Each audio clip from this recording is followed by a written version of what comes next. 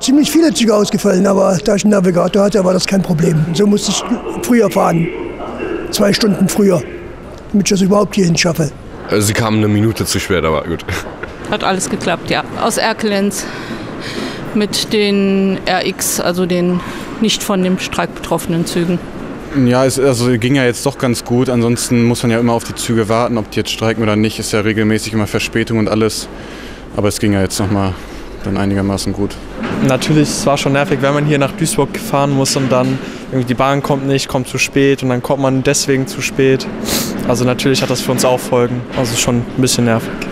Äh, ja, es geht mir langsam auf den Sack, aber gut, kann man nichts machen. Ja gut, wir wollen alle ein bisschen mehr äh, im Portemonnaie haben, war ja in den letzten drei Jahren nicht so prickelnd. Ne? Man weiß es eben nicht. Ne? Und bei der Temperatur auf dem Bahnsteig zu stehen und zu warten, dass dann, dann vielleicht doch einer kommt, ist nicht so angenehm. Also nehme ich den bequemeren Weg und fahre mit dem Auto.